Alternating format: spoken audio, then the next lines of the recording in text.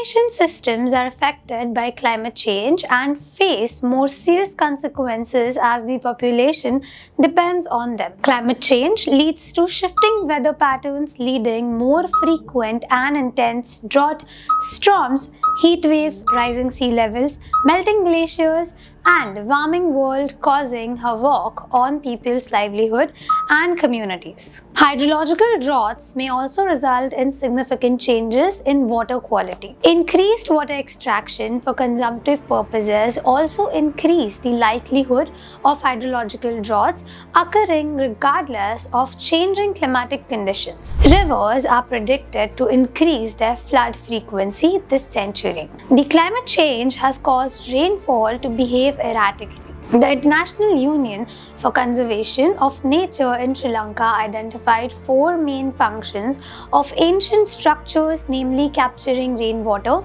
to minimize floods, storing rainwater, recycling used water, and mitigating drought impact. Many water-scarce irrigation systems in the country bear high climate risks. Adaptation to climate variability should happen on several fronts. Changes in the cropping pattern practiced by farmers in the command areas are good initiative for climate adaptation.